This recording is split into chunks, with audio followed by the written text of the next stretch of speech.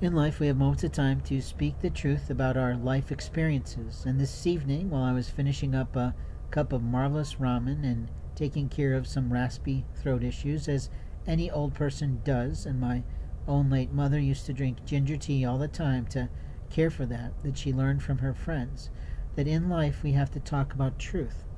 A Korean boy of a rotund size, claiming to be a 10 year student at the university, came up to play with me.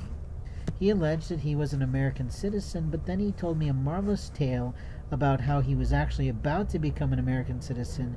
He's about to work for Six, Saks Fifth Avenue in some sort of financial role, and he is a political science and economist major. So I'm sitting there listening to him, but then he's also trying to tell me that he spent 10 years of his life in Korea, 10 years of his life in Japan, and he made it to high school by the helping hand of a grandfather. He showed his absolute hatred of his actual biological father, and he decided that he might just do something kind and loving for his mother, who he acknowledged was an arranged marriage to his father. I couldn't get over the crassness of this child. I also couldn't get over the marvelousness in which he was trying to test my Japanese as he is a four year student in this university, allegedly in Japanese, and supposedly has a Japanese girlfriend. How marvelous for him. According to him, she's going home in a couple years, and that's going to be good for him because Japanese do tend to play right and go home. They don't try to ruin life for people here. They usually prefer to go home because there is no place like home in Japan. There's a part of the world that is untouched and pristine and marvelous there. I have admitted on occasion that I often miss my life there, but as a young man I could not produce a higher level of living, and as a man who had fallen in love with a Japanese girl, I couldn't produce the life we needed for her or our son. In life, we have moments of time to speak the truth. I played by the rules, I did everything correctly, and openly there's always someone who wants to play as if I don't have the right to live my life beyond that time. That was a long time ago.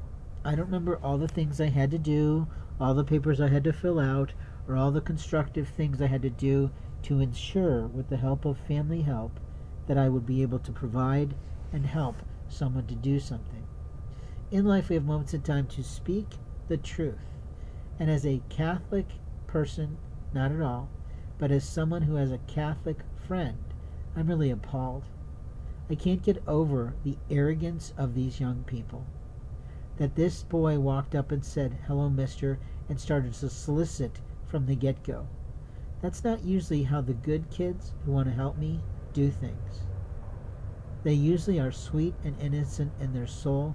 They walk up and they genuinely want to help me, and they simply will take the time to talk with me a little bit before they have to run off.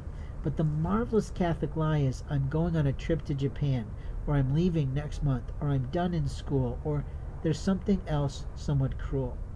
Now, I can make all the rhymes all the time that I want to, but when people ask me to talk about topics that God doesn't want me to, I don't talk about them.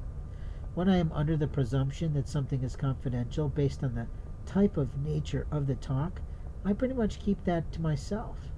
But if I'm illustrating a story and wanting to cherish someone who I'd like to give some love and glory, I might actually use their name.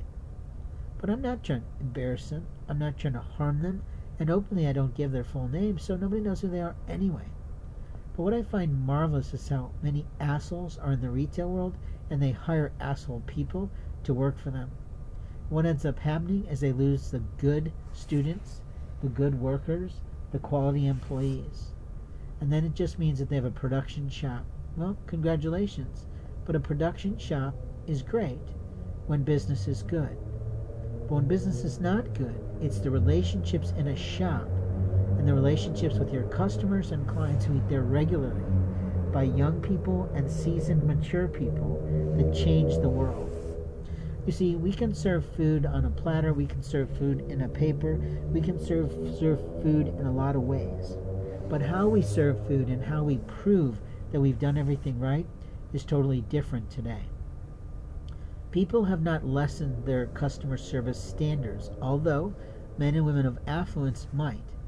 If they're accustomed to, re- to eating in really posh restaurants, they're not going to expect a hell of a lot out of McDonald's employee. But when you go into McDonald's and you meet a superior female black employee, you want to compliment her. But if they don't have an a identification tag on, a name tag on, then you can't compliment them, can you? And there are people that don't want to give out their names, and that's okay, but they could put out a number on their shirt like the bartenders do here, which I really can't believe. I can't believe that people are afraid to give their names, but I don't know what kind of shitbags you have in this community. What I know is that somebody who was literally a police officer or sheriff tried to play up to me and offer me pot tonight, and the answer was no. Why we have a pot shot on a college campus is sort of a surprise. We already have four alcohol shops. Why do we need a pot shop too? Are we really trying to help students get through school? Or are we trying to derelict, be derelict in our duty about what is real in life and what's not real? Are we trying to send young professional business people off into their world and to their companies in the future being totally addicted to something? It's one thing if it was medicinal. It's one thing if it was really proven to help something. But the value of it is that we have to be willing to have people and employees and security guards that will talk honestly about the laws to all people. I had a security guard, a very fat ass, obvious sheriff or wannabe, try to play me with telling me that nobody could smoke that outdoor, and I'm like, then what the hell are we selling it for? What I couldn't tell was whether or not the product they were carrying was legal or not. I realize laws are changing about different types of medicines and different types of old ways of doing things. But I also know that we can be abused by people who just want to say things and play things. And it's hard for me to listen to hear that one of the bars on campus doesn't actually serve food, allegedly.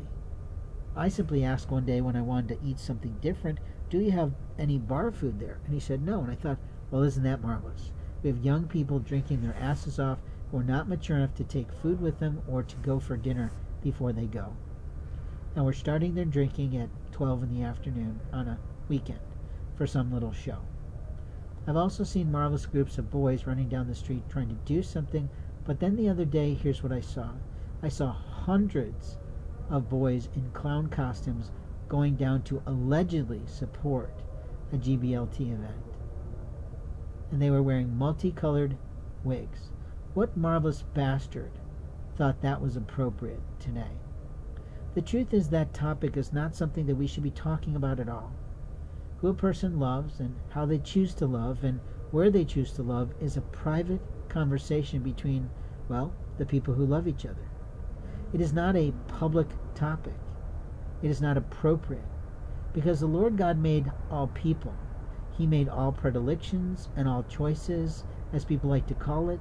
But the bottom line is, He's not asking you to talk about your sex life in the public sector. And we have sort of still, thankfully, some modesty rules and ordinances on, well, the books in most communities across the land that say that we don't display our genitalia out in front of us when we walk into anywhere at all. But there are marvelous bastards in the community that feel that medical rights don't matter to me or to you. They think they have the right to know everything about you without ever earning the trust from you. What I see is a ping game going on from on a person's life. And when a homeless person has a ping game going on them, it's really exhausting for them. Because they're just trying to live life, do their life the best they can, get out of the trouble that they've gotten into financially. What you're doing is playing a shitbag game because you got nothing else to do. But here's the marvelous problem you're doing it on your employer's clock. You're doing it as an employee or a subcontractor to someone during the 9 to 5 which makes them fully liable for your illegal or immoral or ill willed behavior.